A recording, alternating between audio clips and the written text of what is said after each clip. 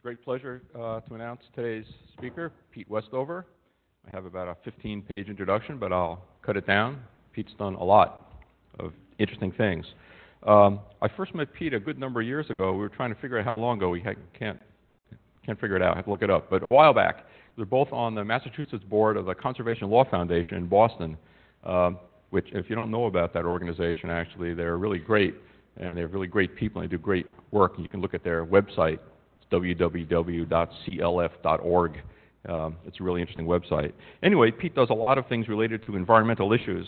Not only is he an active board member uh, on, for CLF, but about 15 years ago, he founded his own environmental um, consulting firm called Conservation Works, uh, which deals with a variety of issues, uh, including land management, land protection, uh, various uh, biological services, uh, developments. He's involved in developing trail systems on protected lands. Um, he's got a BS degree from Oberlin College and a graduate degree from the Yale School of Forestry and Environmental Studies. Yay.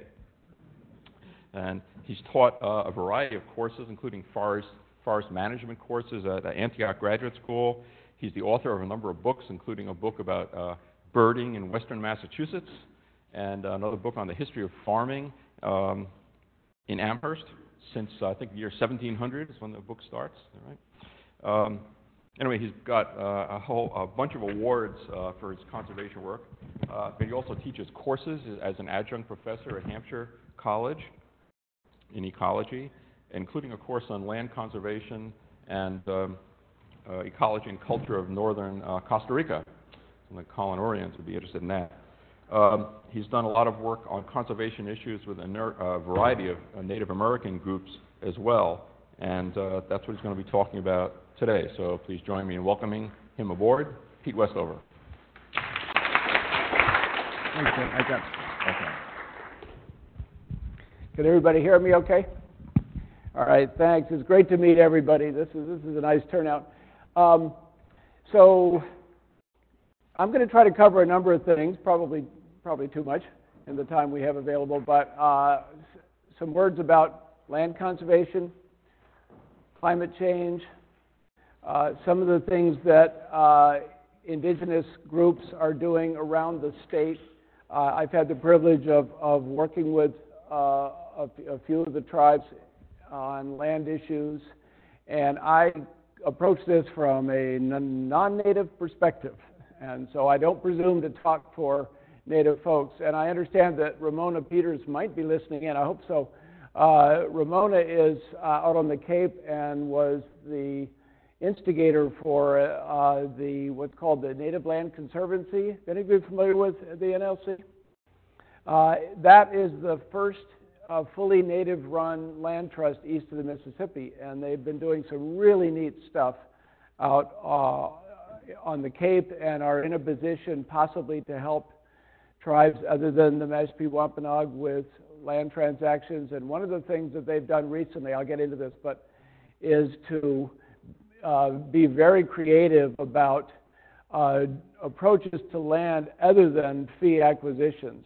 So that one of their projects has been to come up with, in, in coordination with the Dennis Land Trust, what's called a cultural respect agreement, which uh, focuses on 200 acres uh, of coastal land in, in Dennis and gives the native folks uh, the right to uh, perform, you know, carry out various ceremonies and otherwise use and manage the land. So, uh, one of the things I, I want to focus on today is the, the wide range of possibilities there are uh, in terms of native re claiming of land which has been taken from them over centuries.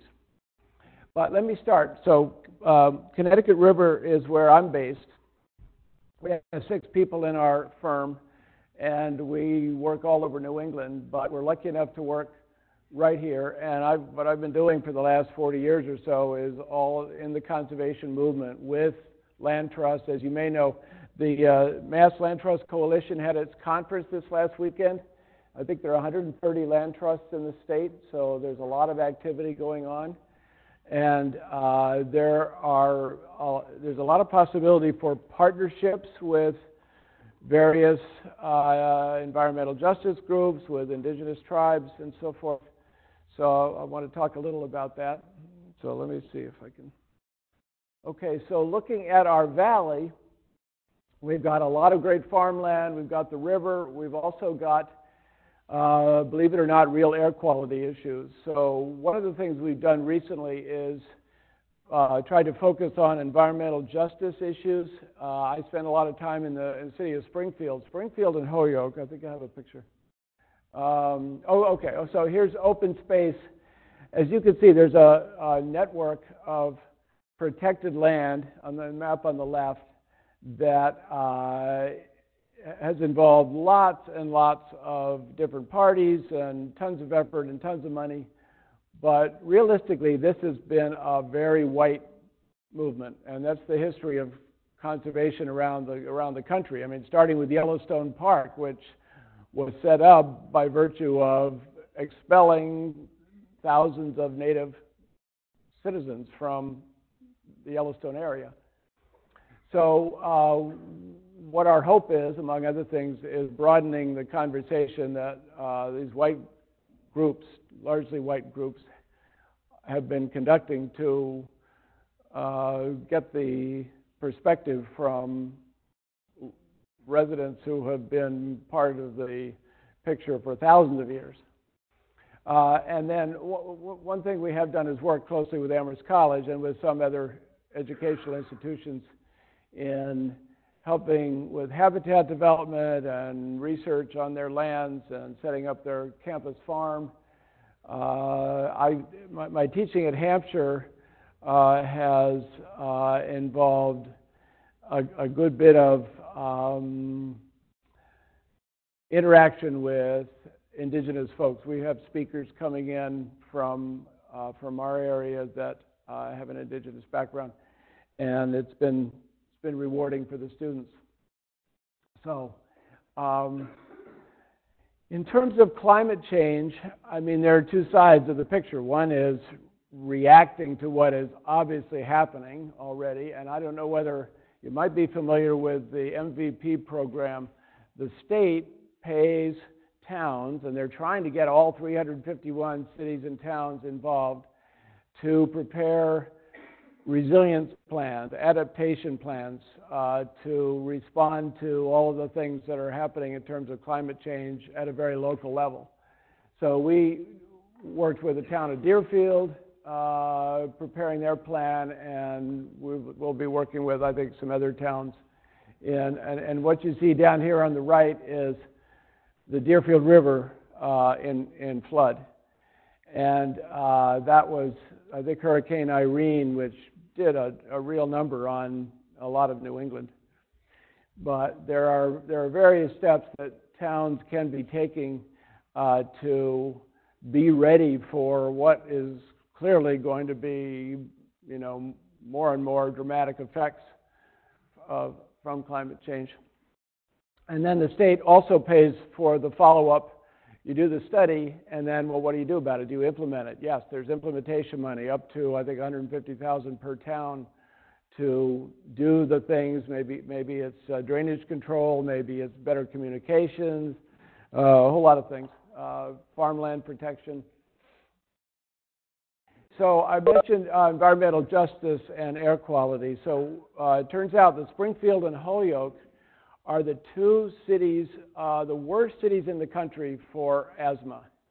And it's a really high percentage of students, you know, high school age, younger, that are suffering from asthma, partly because of the Mount Tom coal plant that operated right there by the river for a long time. It closed down a few years ago, partly uh, as a result of legal pressure put on by Conservation Law Foundation. They're, one of their projects was working with local um, groups, local nonprofits, to uh, focus on the air issues and to get, uh, you know, start thinking about reuse. And uh, CLF has a coal-free New England campaign that's been going on, and they've they've been successful in closing some of the uh, some of the coal plants and are working on others. Uh, so uh, I mentioned environmental justice. We've got a series going on at Hampshire College and uh, the Hitchcock Center, and you might be aware of Hampshire's uh, current financial stress position. So we're hoping that they pull through. But um, among other people that have, have spoken as part of this is uh, Dorceta Taylor. Any of you heard Dor- Dorceta Taylor? University of Michigan. She has done uh, some terrific work uh, in focusing on uh, envi- environmental groups, conservation groups around the country, and the fact that the diversity level is extremely low, uh, and focusing on how to remedy this and you know broaden broaden the discussion. Uh, a lot of great research which she presented. Okay, so Springfield. One of the reasons the air quality is uh, is poor, at least at part of the year, is the I-91 corridor, which runs right along the edge of Springfield. Uh, there is a regreening Springfield effort that's going on in, connect, in, in, coordination with the U.S. Forest Service and with a lot of the nonprofits. Uh, there is, uh, and that involves tree planting, that involves, um, you know, galvanizing parts of the communities within Springfield to uh, do various conservation projects. And I think, I think that, that's hopeful. We're, you're also looking at the site of the casino, which is right, right there by the river. And who knows what the future is going to be. Springfield doesn't have a plan B right now, so we've got the, we've got the casino. Um, and one of the, one of the uh, issues has been whether or not uh, Palmer Renewable Energy would be allowed to proceed with the development of a big biomass plant in East Springfield, uh, which undoubtedly would uh, worsen the air quality. And uh, it's, been, it's been contested by uh, you know, most of the environmental groups in our area. There's Climate Justice Coalition, there's Arise for Social Justice, which is a really it's a it, you know they operate out of a little storefront but they've got so many people involved at, at the very grassroots level uh, we've we've been meeting with the folks from arise you know you go in there they have a sign on the wall that says if you're here to help we're not interested if you're here to be part of the struggle that we've been going through for quite a while come in and talk you know um, and i think the the um, the, the, the big umbrella that they cast is, is quite impressive. They've been fighting some of the pipeline projects. And of course, everybody's aware of the, uh, the, you know, the Standing Rock pipeline issues. And uh, I'll, talk about that a little bit later. But one of the things we hear from uh, Native folks is that, well, great, a lot of people got involved in the Standing Rock pipeline issue, but where were they when, you know, as we've been facing so many other land-related issues? So maybe, maybe you'll see, you know, more galvanizing of the kind of support that really is needed. So here's, here's my class at uh, uh, the last class I taught at Hampshire, and uh, we, we've, we've had some some great discussions about uh, land issues. And I think as, as you look broadly, one of the challenges is how to get more land into back where, the, where it belongs, into the hands of indigenous groups. So we'll talk about that. Um, th- we, we, we did a good bit of reading in Sacred Ecology. How many of you are, have, are aware of Fikret Berkes' book called Sacred Ecology? Uh, it should be required reading. It's traditional ecological knowledge um, in, a, in a fascinating way. He spent years, he, University of Manitoba, he spent years uh, looking into uh, cultural uh, fishing practices among the Cree and other Indian groups in Canada, as they call them First Nation groups. And um, uh, I'll mention later that we were lucky enough uh, another professor and I took six students up to Cree Indian country, First Nation country near James Bay last year, and got a, a very, uh, you know, fascinating uh, perspective on the, the kind of uh, cultural issues and subsistence issues and land issues that Fikret Berkes talks about because we stayed with a, uh, a Cree family in a hunting camp for a good while. So, uh, in our valley, we've, we've had a, a lot of interesting conversations developing, and one of them is going on this afternoon and tomorrow, and that is the Five College Native American and Indigenous Studies Symposium. This is an annual thing. We, a couple, couple years ago, we focused on traditional ecological knowledge. This time is on uh, survivance, uh, resistance. And there, there are some great speakers coming in, um, all of them indigenous, I think.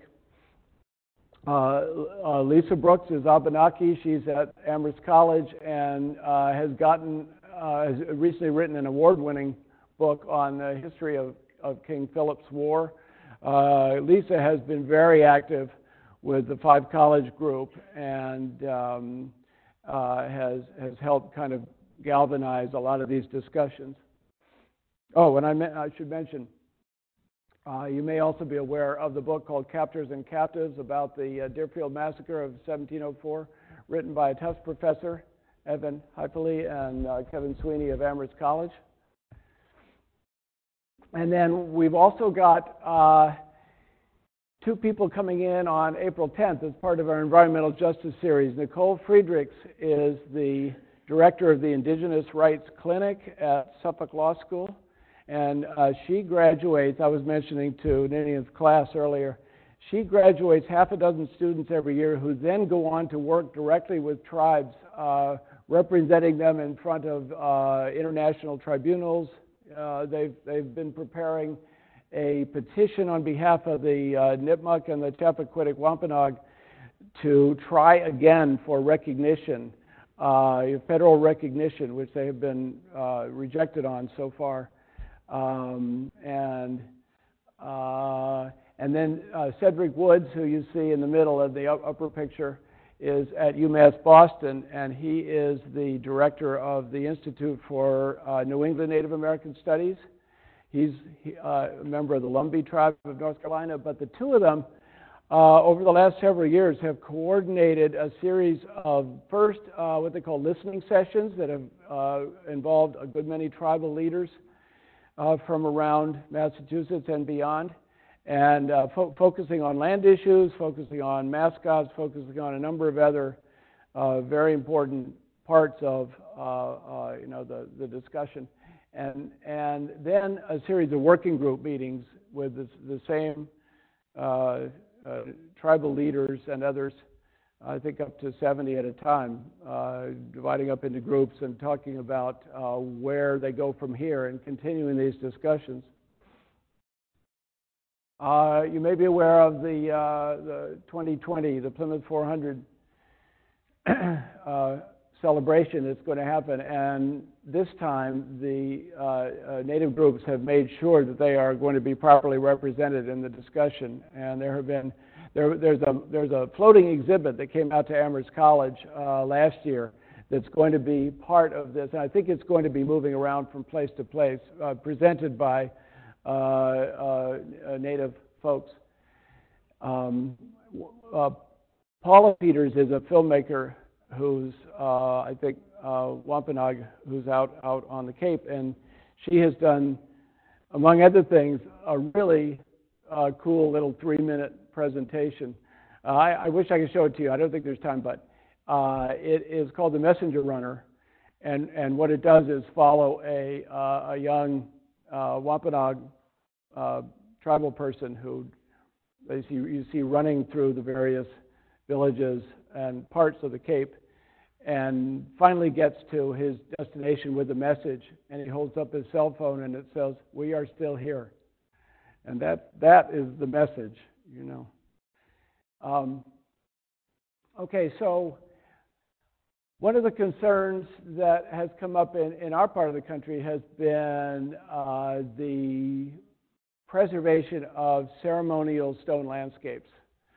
Uh, and there are there are folks who are involved with with uh, several of the tribes who have been helping pinpoint where these sites are and making sure that when there is work done I mean, in this case, here was a trail construction project up in Northfield that we were involved with, and um, there were archaeological, there was archaeological information that indicated that uh, this had been either a women's gathering place, a native women's gathering place, or a um, uh, in, some other in some other way a ceremonial spot.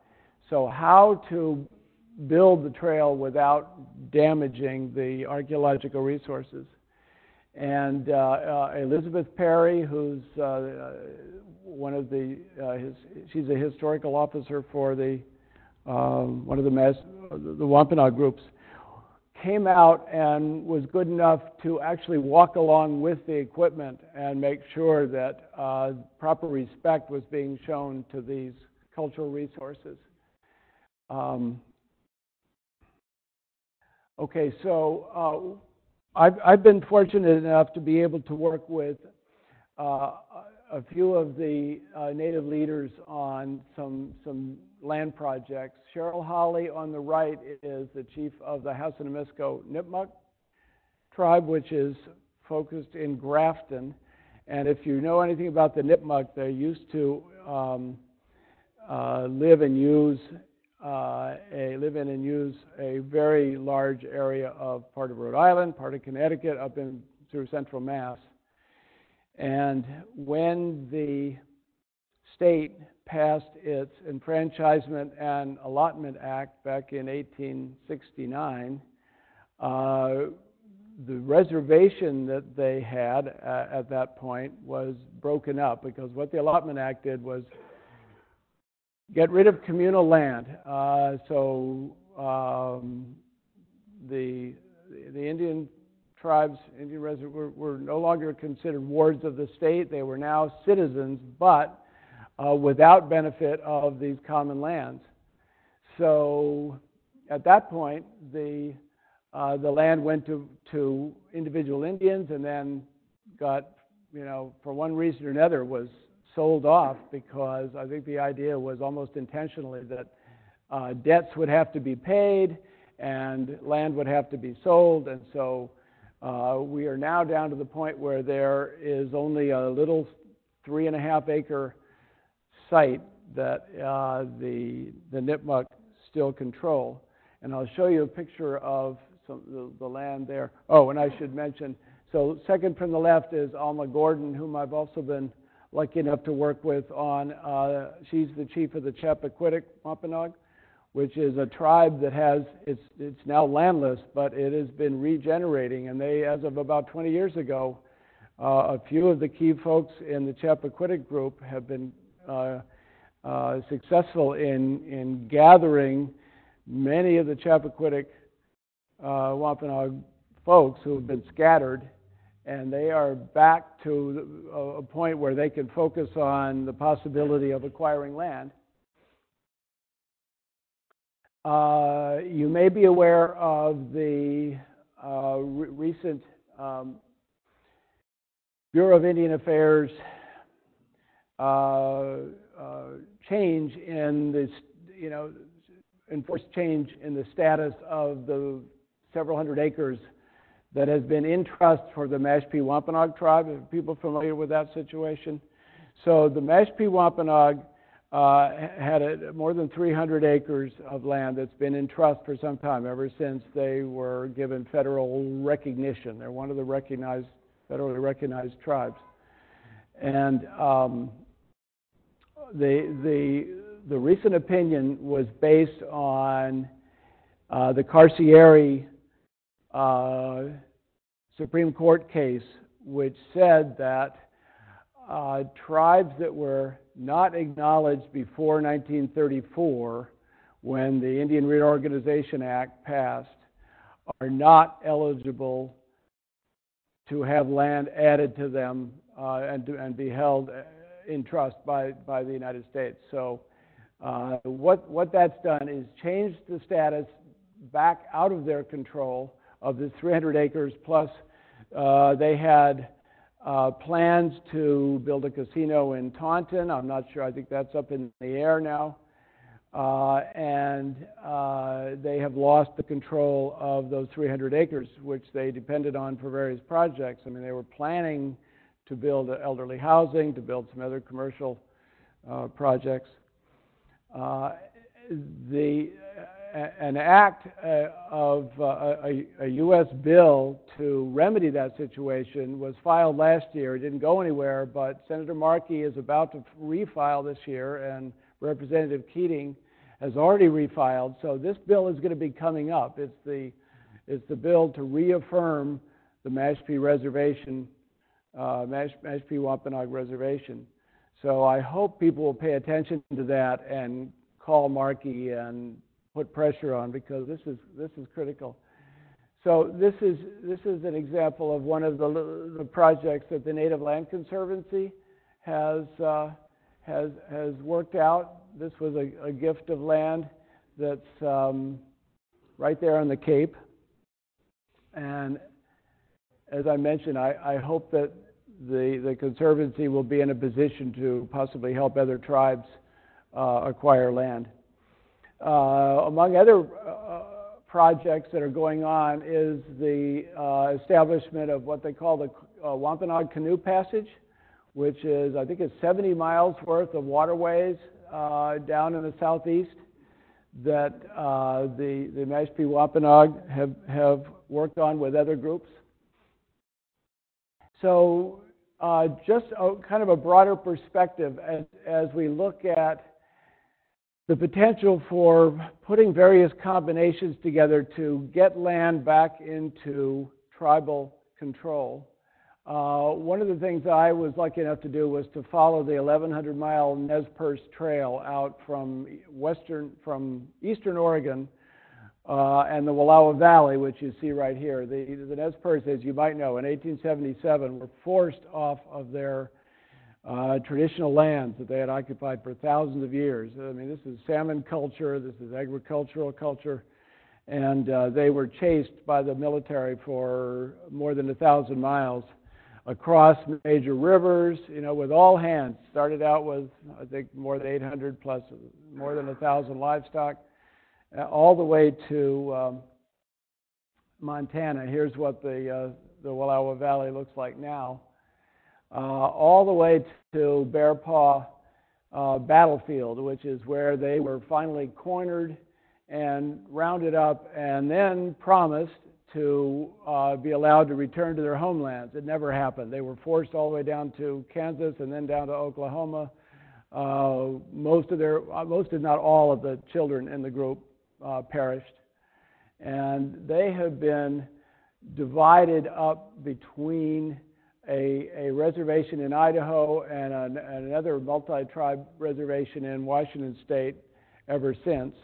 Uh, they were allowed to move back, but not back to their homeland. So finally, a few years ago, uh, in collaboration with the Nature Conservancy, the Nez Perce have title to a 10,000 acre ranch, and they are making that a base and a foothold so that they can then uh, reach out from there and, and add additional land. Here was the uh, marker the, uh, noting the death of one of their, their chief leaders. And then, as you find in so many situations, uh, because of the uh, the effects of the Dawes Act, the the Allotment Act that passed in 1887, I think, uh, nationally, that um, fragmented it, it, it, did the same thing the, the state act did. It took out of communal ownership um, uh, millions of acres of tribal land and uh, put it into private hands, private Indian hands, but then it got uh, uh frittered away and, and lost. So you find these mixtures of, even on the reservations, of ownership. Uh, very, very tangled picture. Okay, so uh, one of the things I realized as I looked into at the at the National Land Trust conference, uh, Valentin Lopez, whom you see on the far right, is uh, lower right, is the chief of the Amah Mutsun tribe in California, And um, they are survivors of the genocide that took place in California from 1840 roughly to 1860s uh, that, that killed off about 90% of California's Indians. Uh, and they had lost all of their land, but they are now in a position to regain uh, management rights over something like 100 square miles of land in, um, in lower central California. Uh, in partnership with a number of federal agencies, land trusts, and so on. And what they're doing, they realized that that they had lost the they had lost the uh, the, the cultural knowledge, land management skills that they now hope to use to kind of restore all of this land. And so they are now busy researching. You know, they're they're going into the, the libraries. They're talking to all the experts they could find to try to restore this this knowledge. And and lo and behold, E.K. Khalsa, you see on the lower left, was our good friend and uh, and colleague on the Conservation Law Foundation uh, Massachusetts board until what a year ago, and he left for California, and he's now the head of the Amah-Mutsun Land Trust. So uh, there are connections. Anyway, that's a picture on the left of the area that they have uh, made a Amah-Mutsun Land Trust stewardship area, you know, through all of these partnerships. It's, it's, it's a pretty cool uh, prospect, and they're, among the other, uh, some of the things they're doing are prescribed burns, uh, which was common in California. And then uh, I'm sure you're familiar with the Bears Ears situation. It, uh, as, as a result of many, many years of, of planning and work by a multi, an intertribal coalition of at least 25 tribes.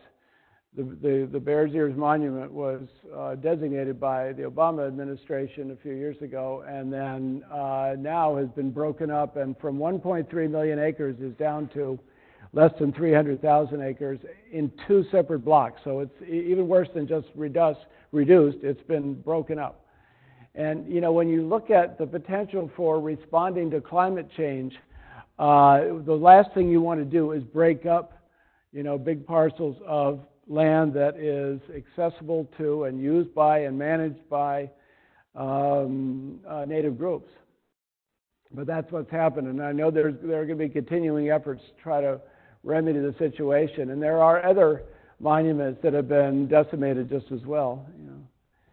Uh, so uh, now looking at New England, I don't want to take too much longer, but quickly I'll go through. You might be aware of the uh, Penobscot Nation, which is located uh, focused at Indian Island, where their principal reservation is, but they are uh, basically in control of something like 225 islands uh, along the Penobscot River. And the issue there has been that recently the, uh, the state has uh, fought the tribe, uh, the Penobscot Nation, over the right to control water quality and to conduct um, uh, subsistence fishing on the river. And after, after years of paper uh, production and other, other industrial uses of, of the Penobscot, which is a huge, has a huge watershed, the, the, the river water quality has been degraded to the point where for years there has been an extreme restriction on subsistence fishing. I mean, pregnant women are not allowed to touch that water. It's that bad. Uh, a few people can fish, but uh, on the positive side, the, uh, the tribe has been uh, very active uh, in, in, coordinating a river restoration project that has um, involved the removal of two of the major dams, allowing the Atlantic salmon to come up again, and the construction of a passageway around a third dam. Uh, but is, the, the tribe is still in court against Janet Mills, who was the Attorney General and is now governor uh, over their rights to control the river. So, and here's the the uh, the Maine Indian Indian Land Settlement Act passed, I think, in 1980, and one of the things it did was uh, allow the restoration to the Penobscots of something like 20,000 acres of land, which is under the management of their Natural Resources Department. John Banks was down at one of our symposia a few years ago. He runs the Penobscot Natural Resources um, section, and he's doing amazing work. They all are. I mean, there there is there are so many uh, neat projects going on. and here's a picture of, of the river. And then, um, as as part of the the uh, struggle over rights to the river, uh, a Justice for the River conference was held a few years ago up up in uh, at Indian Island, and uh, a, a, lot of local support has come out, but but the the case is still up in the air. Kirk Kirk Francis is the uh, um, tribal leader, and if you get a chance, go online and and look at uh, the Indigenous um, Climate Network website and go on to Kirk Francis's talk. Uh, he, he, talks for an hour about the recent history of the Penobscot situation. It's, it's, it's really a must. You, you, should, you should listen to it. There are other issues going on with the Penobscot. The control of the river and water quality, okay. Uh, the dams, uh, contamination, the east-west corridor, I won't belabor that one, but there, I think there's still up in the air uh, a, a, a plan to bisect the state with this massive corridor that will probably would probably be used for not only transportation but pipelines. Uh, landfill expansion next door, so a lot going on. So uh, let me quickly uh, talk about the the efforts of the uh, Nipmuc and also the Chappaquiddick Wampanoag to recover land. So here's a picture of Martha's Vineyard. On the on the uh, left end is the Aquinnah Gay, Gayhead Aquinnah uh, part of the um, uh, the Wampanoag tribe, uh, Wampanoag Nation. They control something like 500 acres on that end, but at the other end, the Chappaquiddick, which used to um, uh, inhabit and use all of the Chappaquiddick Island, uh, are are are down. They're landless now, uh, for you know uh, as partly as a result of the reservations being disestablished in that uh, 1869 um, legislation. So the question is, here, here's Gayhead, that the Aquinnah, and that's a recognized, a federally recognized tribe. Uh, that's part of their holdings. And out on the uh, west part of the island is the Aquinnah Cultural Center, uh, really important historical uh, repository that uh, people people ought to visit. Linda Coombs is the curator, and she's just a, a terrific resource. Um, and then, so here's Chappaquiddick, and as you probably know, it's been almost completely taken over by a combination of uh, wealthy white folks who have bought up very expensive land and, uh, and, and fragments that are owned by the, uh, the Martha's Vineyard Land Bank. So that's, that's conserved land, but it's not available to native tribes, uh, not available to the Chappaquiddick yet. And I have a picture. Okay, so uh, one of the things you ought to know is that both the Nipmuc and the Chappaquiddick Wampanoag have not been successful in achieving federal recognition. After years and years, the Nipmuc were turned down in 2007 and uh, this is the this, this petition is the product of I mentioned Nicole Friedrichs. Uh, she and others have have uh, petitioned uh, the United Nations Working Group to see if they can get assistance in achieving recognition. Here is the so after the the reservation lands were, uh, as you can see up on the upper upper picture, the reservation lands of the Chappaquiddick uh, Island were amounted to two separate uh, areas. And uh, after 1869, uh, the, the, reservations were uh, no longer in the hands of the Chappaquiddick. So the tribe dissipated, it, it, it, uh, its residents are scattered And so the question comes, how can they all, there is a burial ground that uh, the Chappaquiddick have on the island, but really no other land. So here is the current land ownership, and there are possibilities for working with either the town or the town of Edgartown or the, uh, or the Sheriff's Meadow Foundation, which is a, a land trust, or possibly with the land bank, although they've been resistant up to now, to getting land back in the hands of the Chappaquiddick tribe. So back to this picture. Uh, so you can see the Nipmuc, former Nipmuc area that was quite large in, this, in the center of the picture.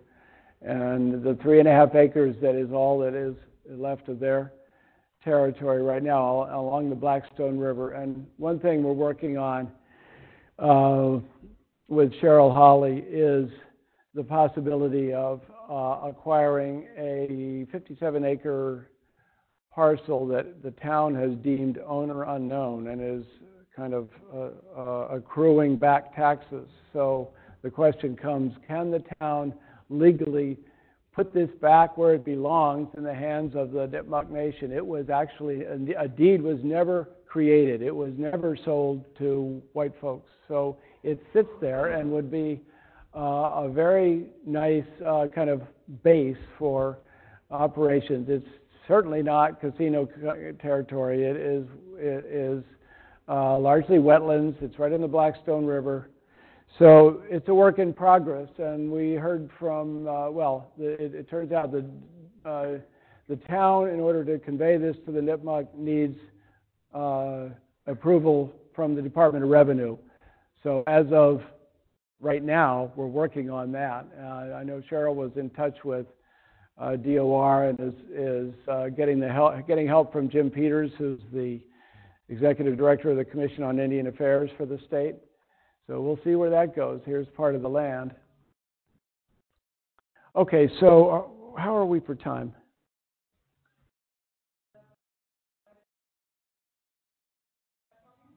Few, Five more minutes?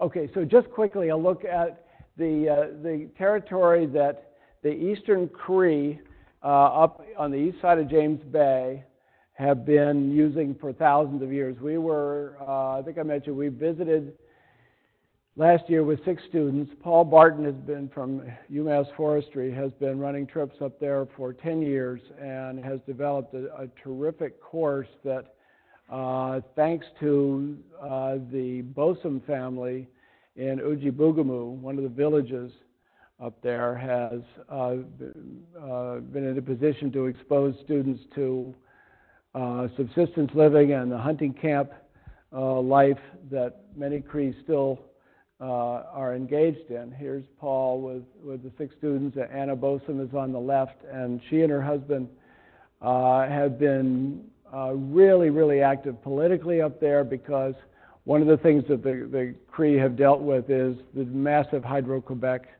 project you might be familiar with. So starting in the, the 1940s, dams began to be put in for electric power. These were private dams uh, in uh, much of this country. And we're talking way north of, um, Montreal. I mean, it's a 16-hour drive from Massachusetts, so we're way up north. And then uh, in 1970, the uh, Canadian government nationalized all of these power sources and came up with a massive new project, which they've forced the Cree to accept. I mean, the Cree got certain benefits, but the La Grande River was uh, dammed in three places, and then future development, hydroelectric development, has involved many more dams. Uh, you know, despite very serious resistance from the Cree and, and their allies. So here are the, and that, that shows, we're, we're right about in the middle of the picture with James Bay on the, on the left. And then uh, the, the, the various villages of the Cree east of, of James Bay. And they were all required to vote on the, uh, uh, in 2002, the, the third phase. They were able to, to turn back the Great Whale Project with help from U.S. environmental groups, but the great the um, the Rupert River dams went forward, uh, as a result of um, a lot of squeezing that, that the, the Hydro-Quebec, you know, the go- Canadian government did, uh, pretty much forcing the Cree to accept, okay, 4.5 billion went to, over a period of 50 years, was promised to the Cree. But on the other hand, the, the effects on local life there has, have been dramatic. I mean, when you look at these giant rivers that have been dammed and, and then the, the encroaching, the encroaching of uh, thousands and thousands of workers coming in to build these structures, uh, clashing with local culture. Uh, we got a really good look at, um, at, at the day-to-day life of the Cree folks up there. Here is Anna preparing a moose hide, which is an arduous process. Uh, they brought in, the, the family brought in four moose while we were there. We went out on their fishing line. Uh, they set up uh, the underground, you know, underwater, under ice nets uh, and brought in quite a few fish. But this is really skilled uh, work that has developed. You know, the science uh, around this fishing culture has has developed over, you know, in a trial and error way over thousands of years. So we were privileged to be able to be part of that for a very short time. And then I, I think this is the last picture, but, but you should be aware of the Northeast Indigenous Climate Resilience Network. And if you go on the website, uh, you'll see some really fascinating presentations by uh, representatives of lots of these uh, tribes that are doing very interesting projects um, related to climate change. And then, of course, there are international discussions around climate change. So I will stop there.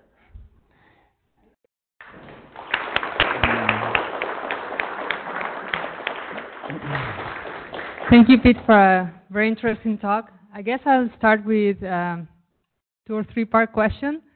Um, as someone who didn't grow up here, so I, I don't, my knowledge is limited.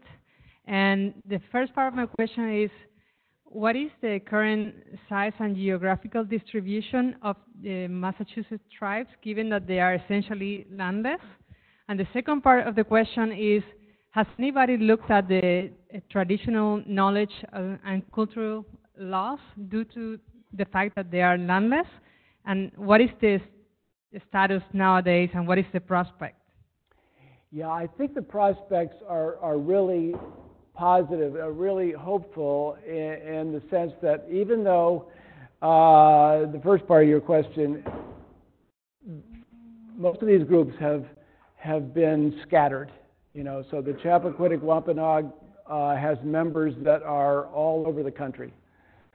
Uh, Alma Gordon happens to live in Connecticut. Others live as far south as you know the, the deep south or, or out west. And then, uh, and, and about 20 years ago, uh, a few key people who are, who discovered there, that there are, you know, wide-ranging members of the tribe out there had been assembling for periodic gatherings, uh, the Chappaquiddick group. And uh, I think as time goes by, they are coalescing around some, uh, some very important projects. Uh, the Mashpee Wampanoag, uh, I don't know whether any of you have been to their headquarters, but they have a, a really uh, impressive uh, corporate structure and a lot of commercial activity going on. And you should know, I mean, these, this is true of, of many, many tribes around the country. Uh, that it, you think casino, but there are tribes with lots of, you know, forestry things going on, uh, lots of other commercial activities. Uh, the casinos themselves are extremely valuable in providing funding that spins off other commercial activity. So this isn't what, exactly what you've been asking about, but uh, it's it's a mixed picture. I mean, you see lots of lots of small groups. The Herring Pond Wampanoag group uh, is also scattered, but they are you know they have uh, routine meetings and they are coalescing around various projects. So I think there there is a lot of potential there. Yeah, thank you for a really interesting talk. I was thinking about this landless notion. In the West, there's an awful lot of federally owned land that it seems to me that that could, with sufficient political power, get flipped to help those communities.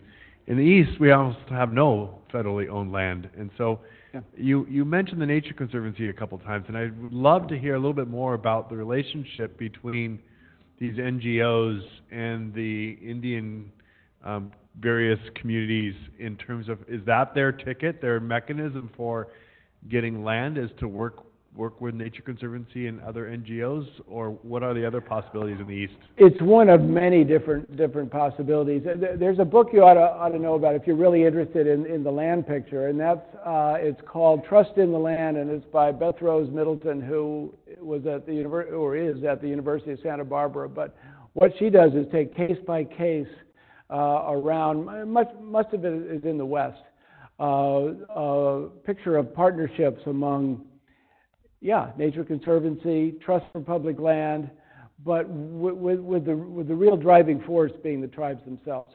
You know, so how how to fashion these coalitions that that make things happen. And as far as I know, Trust for Public Land has backed off of its. It, it had a very serious initiative and helped a, a good bit with some of these things out there. You know, some of these projects. I'm not sure they're doing that now, and I'm not sure how active Nature Conservancy is either, but. Uh, you were also seeing the rise of native-run uh, land trusts. You know, that's happening in many places. So, yeah.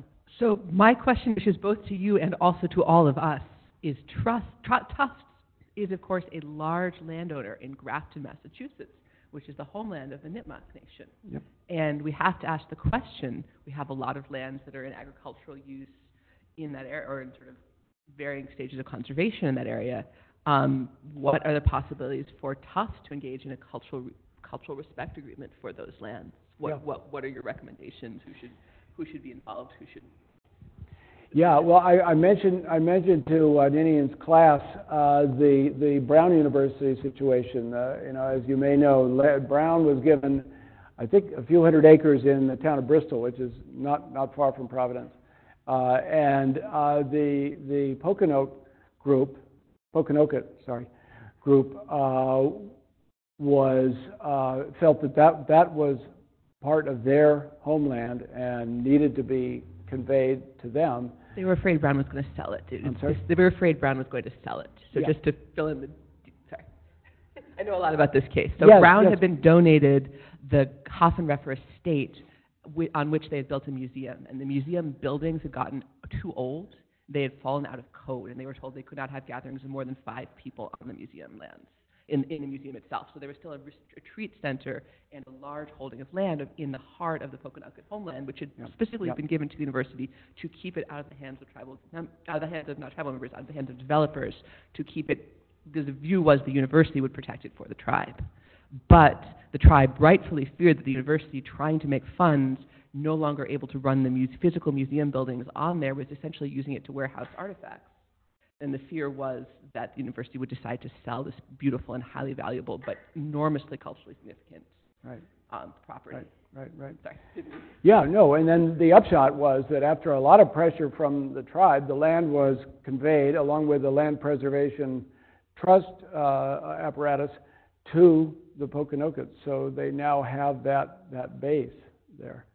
Thank so- goodness Brown did the right thing Yeah, with a yeah, lot, with a, yeah. with a literal uh, camp in to Yeah. lot, lot of pressure to change. Yeah, and more, and more broadly, I mean, there are, there are, uh, there, there is the potential for gift land to come to, uh, tribal control. Uh, I, I'm aware of one piece in Canton, Mass, at the end of the Blue Hills Reservation that was actually conveyed by the state to the tribes. Uh, the State Division of Capital Asset Management, DCAM, uh, has been approached, and I'm not sure they have actually conveyed land, but, you know, there, but, but you can't rely on, on that kind of, uh, you know, generosity from, from state and federal government. There, there have to be, uh, other mechanisms that are, are, are gonna be more likely to succeed. Yeah, did you have? Yes, uh, really fascinating. Thank you very much. Uh, so, uh, in, in a previous life, I, I was an indigenous rights lawyer, and and so I have a couple of cases that Get haunt up me. here. no, no, no, no. But a couple of cases that haunt me, and I wonder what you think about them. Um, one, uh, you were talking um, about the Penobscot, but I, I worked with the Passamaquoddy, and Yeah. the issue of taking down dams was very divisive within the community because um, different bands had different ideas. Uh, one that wanted to restore the, the natural flow and the, the run of the alewife and so on, and others who had been become um, fishing guides in some of the lakes that were created. Another case in in um, in Panama where they were building a hydroelectric dam, a very large one, well, building dozens of them actually, but in one particular one that we were focused on, um, where where some of the communities thought this is terrible, uh, would literally be flooded out and um, be forced into much worse lives, wh- whereas others thought maybe this would bring economic development and this could be helpful. Sure. How Yeah. do you navigate something like that, and you know, where you have, uh, you know, it's it's easy when you can see this will definitely have a, a terrible effect on everyone in the community. Yeah. But when there's when there's a possibility maybe for economic development, or when there's for whatever reasons uh, difference of opinion with the, in the community, what do you do with that? Yeah, that, well, that, that's a good point. I'm not sure I'm in a position to, to answer that, but you can see what the, what the dilemma often is. And uh, just, I mean, you mentioned your background. I hope that this forum will bring indigenous people in. So, I mean, I don't want to be in a position of being a spokesman for indigenous groups by any means. I'm privileged to be able to work with some of them, but uh, I, I have attended a couple of symposia, uh, one at Radcliffe and one at Harvard over the last couple of years on indigenous law. And one of the things that came out was that Harvard University has zero indigenous, full-time indigenous faculty members. I mean, think about it. Uh, so I hope things will, will begin to change, but there are, there are some terrific uh, resource people who are experts in indigenous law uh, out there, and uh, I hope you'll be in touch with them. Thank you. Any? Any other questions? All right, let's thank Pete Westover one more time. Okay, thank you very much.